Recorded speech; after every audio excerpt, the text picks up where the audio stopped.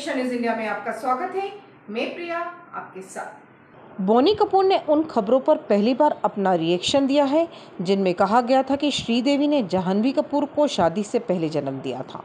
बोनी कपूर ने कहा कि ये बात झूठी है। जाह्नवी का जन्म उनकी और श्रीदेवी की शादी के बाद ही हुआ था। एक इंटरव्यू में बोनी कपूर ने अपनी पर्सनल लाइफ पर बात की।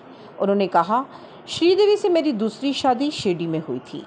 हमारी शादी 2 जून उन्नीस को हुई। इस सीक्रेट शादी के सात महीने बाद श्रीदेवी की प्रेगनेंसी साफ़ दिखने लगी थी तो हमारे पास कोई चारा नहीं था।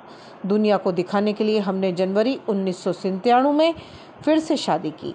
इसी वजह से लोगों को लगता है कि श्रीदेवी शादी से पहले प्रेग्नेंट थी और जानवी का जन्म हमारी शादी से पहले हो गया था, जबकि ऐसा नहीं था।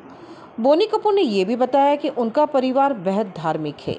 जानवी हर तीन महीने में तिरुपति जाती है।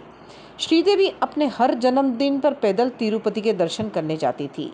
जब मैं मुसीबत में होता था तो वो नंगे पाँव सिद्धिविनायक के दर्शन करने जाती थी। बोनी कपूर ने श्रीदेवी से शादी करने के लिए पहली पत्नी मोना को तलाक दे दिया था। पहली शादी से इनके दो बच्चे हैं, अर्जुन और अंशुला। श्रीदेवी से शादी के बाद बोनी को दो बेटियों के पिता बने, जाह्नवी और खुशी। बने रहिए। एशिया न्यूज़ इंडिया के साथ धन्यवाद।